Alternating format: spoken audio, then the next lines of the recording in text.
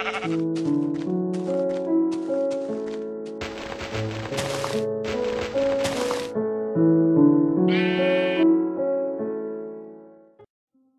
guys, it's Modest5 and 7. This is episode 180 of my series, Things to Build in Minecraft. Name this episode is Hot Tub.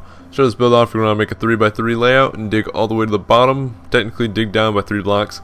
Place some netherrack, light it on fire, and then place the base floor of your hot tub right above it. And the reason for this is because it gives off this cool particle effect of smoke coming up through. So once you place water, uh, you kind of see the smoke coming through so it looks kind of steamy and overall, it's really cool. I got this idea from a viewer when they built sort of a spring in a viewer world, and it was really cool. And I wanted to make sort of like a hot spring out of it, but a hot spring just kind of looked like some water, and I don't think people would really like it that much. So I made a hot tub instead. I really like it, and I think it's pretty cool. And uh, pretty much, then you're just gonna wrap some upside down stairs around this, and then put some uh, stone below it just to kind of make it look a little bit nicer because the upside down stairs kind of makes the grass turn to dirt and it looks kind of ugly. Then filled in with water and you can see the particles coming out. It looks really cool. You're going to take a stone slab, just put it right here just to make it look a little bit nicer.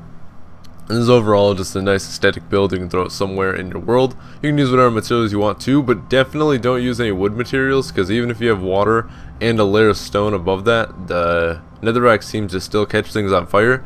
So that's sort of the downside of this build, but you can work around it. That's why I decided to use stone brick. You can use quartz if you want. Looks pretty cool.